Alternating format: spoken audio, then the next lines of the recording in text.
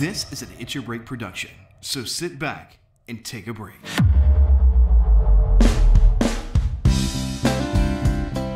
Welcome to It's Your Break. Hi, I'm Jonathan Mertz, and today's guest is Sabrina Osso from Osso Safe.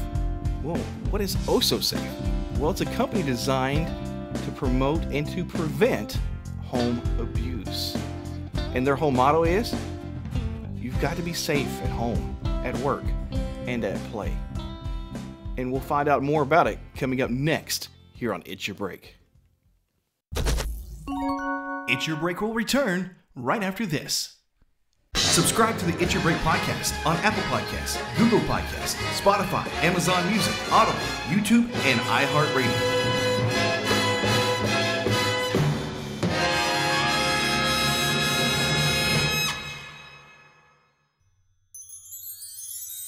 And now, back to It's Your Break.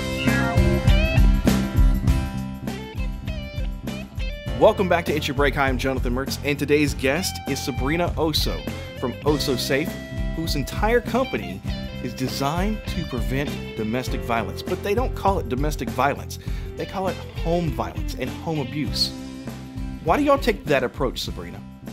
Yes, um, thank you so much for having me on your podcast. I, I really appreciate it. Domestic violence has such a stigma that it is a woman's problem, and clearly it is not. And secondly, it assumes that all of the victims are female, and that's not true either. So we prefer to say home violence, it's more inclusive because your home environment could be you could be living with your husband, your wife, your boyfriend, your girlfriend, your ex, your children, your stepchildren, your grandparents, and an episode of violence can occur in any one of those combinations. So I prefer to say home violence. I think people will connect with that more without any sti- less stigma, if you will. That's interesting. That's interesting. So let's let's kind of go back in time and, and find out why you started oh Osso Safe and and how that came to be. Were you a victim or or close contact with with some type of home violence? Yes, uh, my father beat my mother on a regular basis. Um, I, I've had years of therapy to be comfortable enough to say that, uh, but um, I, I feel like uh, if I don't say it, then I'm not doing oh so safe justice, you know, uh, and and not even for the for my clients or my um, audience, if you will. Uh, but yes, it was very it was pretty traumatic. A lot of violence, abuse, chaos, dysfunction, the whole works. And um, uh, but Osso Safe. Uh, I mean, I I'm a dancer, and I did not start dancing though until in my early early 20s um, because I, I had no one to take me to dance at five years old. I couldn't even think about dance uh, at such a young age um, because of all the chaos that was going on in my household. So I started dancing in my early 20s and I was just um, deeply immersed and submerged in the dance world. And um, I started writing my one woman show. Um, and it was called Home Sweet Home. And I play different women being abused. And uh, but she goes to her good place. That's where the dancing comes in but then she's pulled back into the terror of violence uh, of her home life. But the show ends really strong, really empowering. And I did a lot of research for the show, and I, I could not believe the statistics that I was finding. Um, I, I, I was shocked. And I said to myself, I have to make this into a business. I have to make this into an actual uh, a business providing products and services to really help people out. And that's how Osso Safe was born, really, out of my one woman show. Um, uh, yeah, I hope I answered your question. I no, know you, sometimes you I absolutely go off did. on a tangent. you absolutely did. That's not a problem. You know, it, it, it's fascinating to hear people's backgrounds, even if it's tragic, and and to learn from their experiences. Um, my background was where I got to deal with domestic violence and and things like that was not in my intermediate family, but it was in extended families.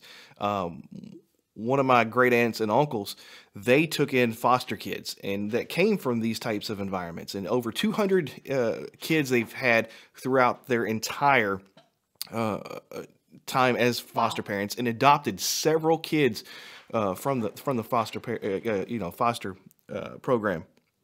So I understand some of the severity, but then I got a firsthand experience with this, more so of, of, of a reaction basically as a dispatcher for the Kentucky State Police. So I got to hear these domestic calls come in, and quite frequently, as most people will realize, women are going to be the the brunt end. But as you mentioned earlier, they're not the only ones, and I learned that firsthand experience as well uh, from being a dispatcher. And you do have those rare occasions where a call comes in and a man is being abused, but you're like, well, that's a little weird, you know, because just because uh, you just don't think about it, and and there is a stigma behind that. Why do you think you know it, there is less reporting of men? Is, are, are men more perpetrators than women, or why is that? Uh, there is a statistic that 85% of all spouse murderers are male. There's another statistic, though, that one out of seven men is abused. So, uh, abuse is abuse. It doesn't matter the gender that the hand occupies. Abuse is abuse. So, uh, men will not report it or be less likely to report it because they get the comments, What's the matter? Can't you keep your woman in line? Be a man, man up. Uh, what do you mean she beat you? She's five foot two. Um, you're you're stand up for yourself. Um, what's the matter with you? Uh, you are the CEO of so and so company, or I thought you were better than this. I mean, the whole gamut of stereotypes and judgments and. Um, but like I said, abuse is abuse, and um, uh, it's horrible. Whoever's the victim, uh, it's horrible, and the children suffer the most. So um, I encourage men that are in abusive relationships to report it, to uh, to say something, to confide in someone. Um, and, and I, am proud of my company how I designed it because it, it, it's whoever's being abused. You know, it could be male, female. Uh, like I said, children are always victims in these situations. So, uh, and I'm glad I designed it that way because we, we want to be inclusive and we want to help anyone that's hurting or even not hurting. Um, they're an in, they are instrumental in this equation. If you are not going through violence, first of all, I want to say, great job. Continue doing a good job. If you have love, support, uh, nurturing, positivity in your household, keep it up. We need you. Uh, because you're you're the example. You are actually what everyone needs to achieve or practice. Um, so, so yeah, I hope I answered your question. absolutely, absolutely. And for those that that that haven't familiarized themselves, go on go on YouTube and and and watch Sabrina's TED Talks from from from you know the New York New Jersey City University there, and she goes over a lot of these statistics in there, and I find it fascinating that you have so many statistics in the beginning of that that talk. Uh, and as you, you, you talked about your one woman show, how much work it went into. One of the things that thought that I went through my mind as I heard, you know, about men being abused and things like that is statistical breakdown on who's abusing them. Do you see more abuse statistically? I don't know if you've done the research on this part, but with homosexual relationships versus heterosexual relationships, or how does it, does, does it even matter? Uh, good question. Um, you know, I should know some statistics on uh, like same gender, um, same gender relationships or uh, uh, transgender relationships. Um, uh, but it happens probably off more often than not in these types of relationships because then you have the whole equation of well you're you're you're gay you're you're a lesbian you're i'm going to out you if you don't do what i say um, it's a whole other layer of abuse that can happen because they'll use that as a weapon. Ah. Yeah, especially of, if they're not know. fully out. Yeah, absolutely. I didn't Right, think about that they- aspect.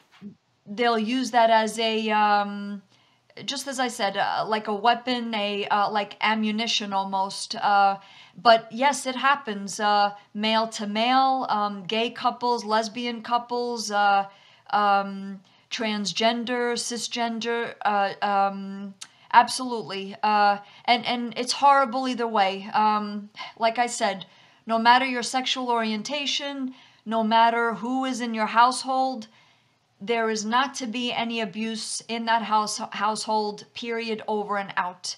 Um, uh, if pets are there if uh, certainly children um, like i said children suffer the most. Uh, i should know because i was one of them so um, uh, yeah but but there the, and also people that are gay uh, or lesbian and they haven't said anything it, it just even makes them feel guilty and more scared even to say anything because they know the violence is around the corner from someone you know? It could Right. be a parent it could be a grandparent it could be a friend it could be a, um, a peer. So they they have an extra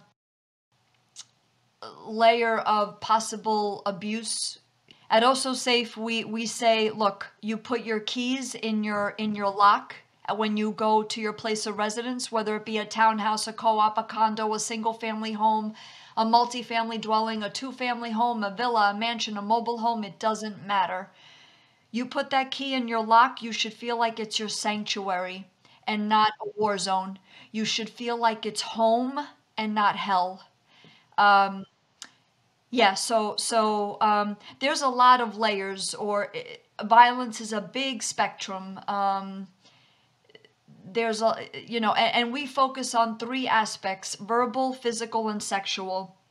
Because, for example, if your abuser takes away your money or takes away your account, that's financial abuse. However, it, uh, we see it as it hurts your persona, like it's like physical abuse. Um, uh, so we don't like to really mini mini categorize so much. So we kind of group it into three main categories: verbal, physical, and sexual.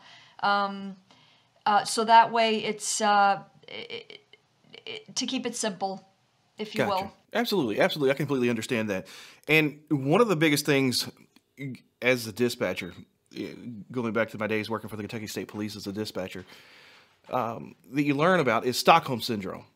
And how hard is it for somebody to actually break hold of Stockholm syndrome? Because I mean, that's something that has mentally been beat into their their their thinking and, and their way of life. Oh, yes, absolutely.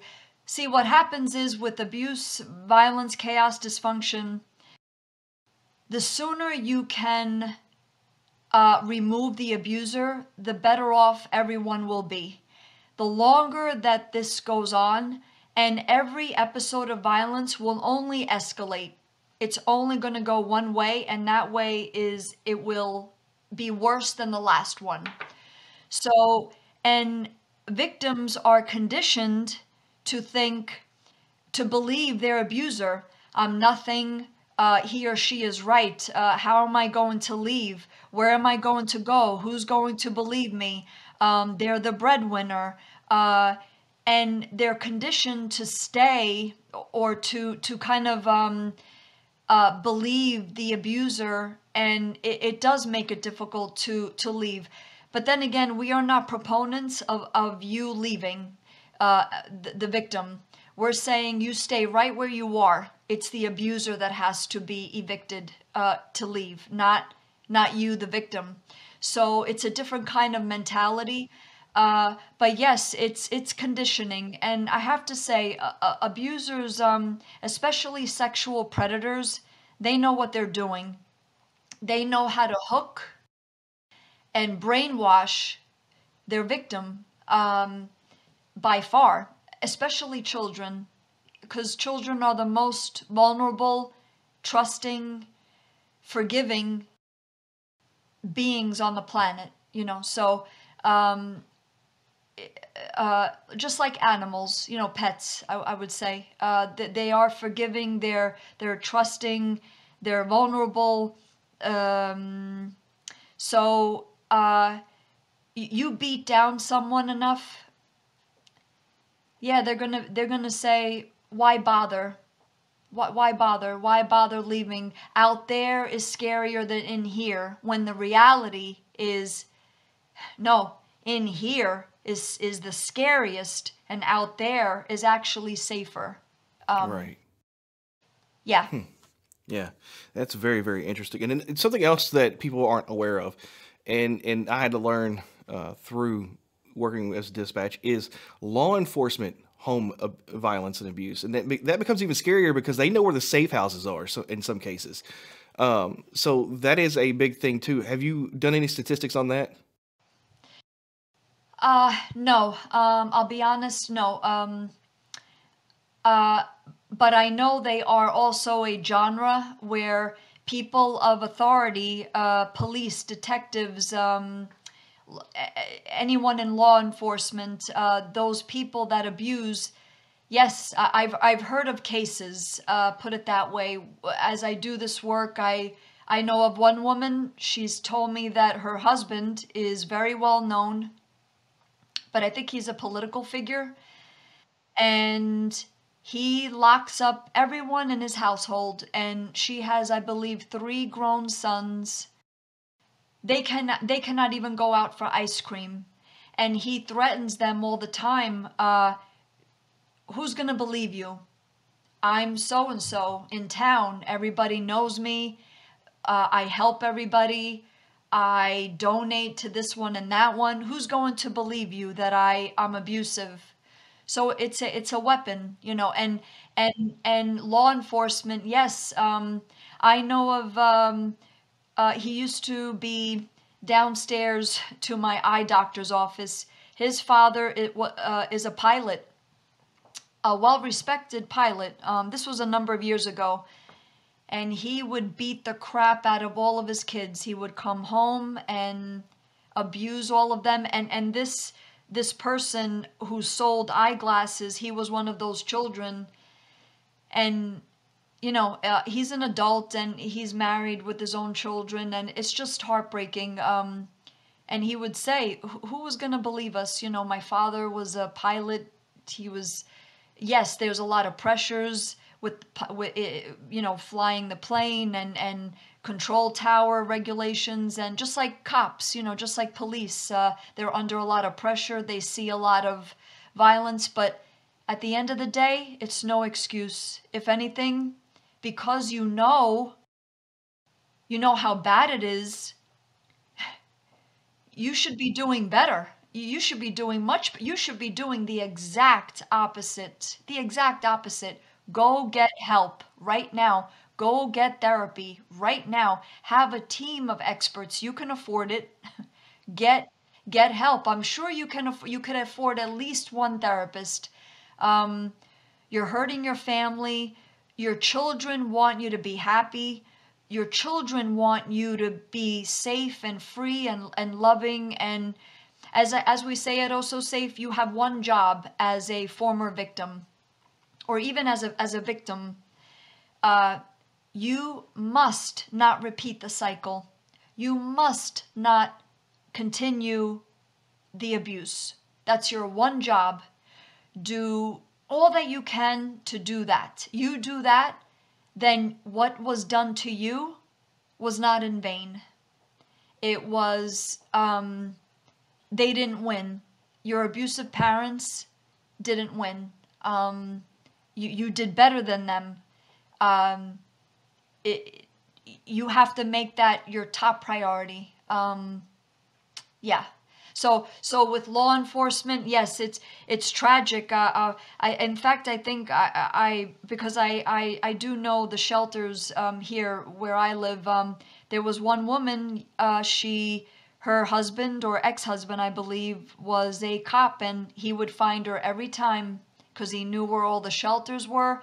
And I think her, the shelter finally put her in hot in hotels to keep her protected and to make sure that nothing happens to her. And then eventually, I'm not sure. Um, uh, I mean, she was able to break free and, and live her life, but yeah, they had to put her in, in undisclosed hotels. Um, it's ridiculous. It, it's it's it's barbaric, really. Now, if people wanted to get in touch with you and, and find out all this information and everything that you have to offer through Osso Safe, where do they need to go? My website is ossosafe.com. Uh, I am on all the social media sites uh, Facebook, LinkedIn, Twitter, Alignable, um, uh, all the major social media. My direct email is sabrina at ossosafe.com. Uh, my TEDx talk is broadcast, and uh, but on my website I have uh, links to how to speak to me uh, if anyone wants to hire us. Um, I, I want to clarify: we're not a nonprofit, we're not a charity. It's not the approach that we take at Osso Safe. Um, we feel that victims don't need pity, they don't need handouts. What they need are solutions, they need resolution. In fact, I, I believe I, I, say exactly that in my TEDx talk. Um, because the longer that we treat this as a charity, it's just going to be on the back burner, the back burner, the back burner. This needs to be resolved right now, right now. And what we're offering um, in real estate it, through the real estate industry where we're offering the Osso Safe Home Sweet Home package for landlords and tenants to educate all your tenants, have them sign our policy. This is an addendum to existing leases. Uh, we have technology in place to eliminate the he said, she said factor, but that's being uh, upgraded right now. Uh, to get your properties Osso Safe certified. What does that mean? Everyone is educated, everyone is home violence conscious, um, and the abuser is the one that gets evicted, not the rest of the family. The abuser gets evicted. First episode of violence, you got educated, you signed the policy, you know that there's a waiver in that policy. Um, we have therapists assigned to the building right ready ready for you. You have a problem you feel like something is looming an episode of violence call your therapist work it out. It'll prevent at least diminish and eventually prevent home violence. You're educated you're held to a higher regard a higher standard in an oh Osso Safe certified building this is the approach that we're taking, merging Osso Safe and the real estate industry. I know if I had this growing up, my reality as a child would have been much different. I could tell you hands down. my father would not have gotten away with half the stuff that he got away with, and we would have been better off for it. Yeah. Wow, that's interesting. That's an interesting story. Sabrina, thank you so, so much for coming on the show. And it's so interesting. And again, oh ossosafe.com that is where everybody can go, correct? Correct, correct. Absolutely. Yep, yep. All right. Well, well, any any parting thoughts? You have the right to be safe at home. Um, just because you are a parent does it give you the right to abuse your child. Uh, do not give pornography to our boys. Pornography is a big driver of violence. Um, we're not talking about sexual freedom. We're all for sexual freedom at Osso Safe, but pornography is the opposite of freedom. Um, and to this is a practice. We have to practice safety. We have to practice nonviolence. Um, uh, this is not just one and done. And we are very um, we we empower. We are very uh, beyond hopeful. Um, we believe that every single household can be free of violence and just and, and, and safe and free and um, where everyone everyone is um, looking out for for each other and that's how it should be. Awesome. Thank you so much again and maybe we'll have you back on the show sometime. Sure. I, I would love that. Thank you so much, Jonathan. Thank you.